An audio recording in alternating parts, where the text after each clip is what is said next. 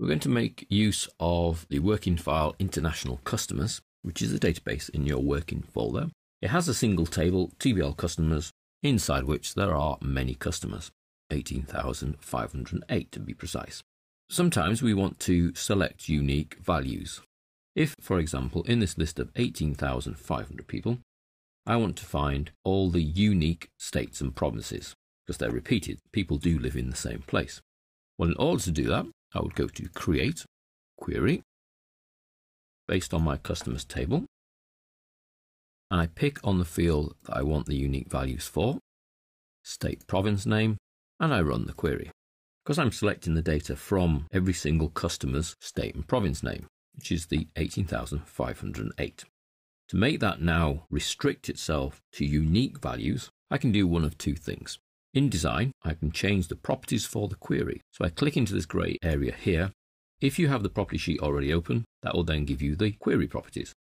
If you don't already have the property sheet open, then I click in here, right click and choose properties. And you can see it gives me the property sheet for the field list properties. So I need to click again into the grey area to get the query properties.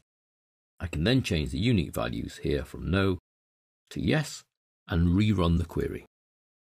And that then gives me the unique values in the state province name.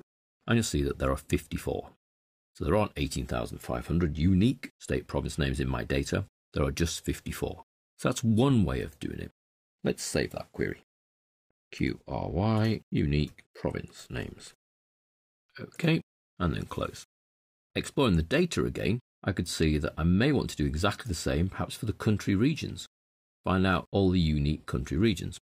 So I go again to create query design based on my customers table, choose the column that I want the unique value for, the country region name, view, and I know again I'm going to get my 18,000. This time to restrict it to the unique values, instead of going into design and changing the value in the property sheet on the right, we're actually going to do it in the SQL. So up here on the left, we go View, SQL View. There's my SQL. Select Customers Country Region Name from TBL Customers. I simply put the word distinct in between the select statement and the fields that I'm trying to select. And then I view and I get the unique countries. And there are only six. So my whole data set of 18,000 people belongs to six countries. So let's do a save as on that. QRY, unique countries. So the SQL keyword is distinct, but effectively it's returning you the unique values. So you can do it in one of two ways.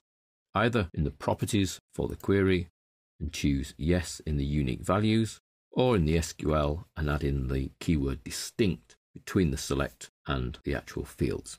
In both our examples, we've used a single field, but you can use multiple fields and use the same option, distinct or unique in the properties and where the two or three fields then match to be unique are the values that get returned. For example, in here, if I now add in state province name, so I have two columns, then they must be unique as a pairing to be listed out separately. So there are 54 unique pairings of the country and the state province. So that way our country actually gets repeated, but each of the unique provinces within each country is then listed. So there's nothing to stop you using multiple fields and then the distinct keyword or the unique property.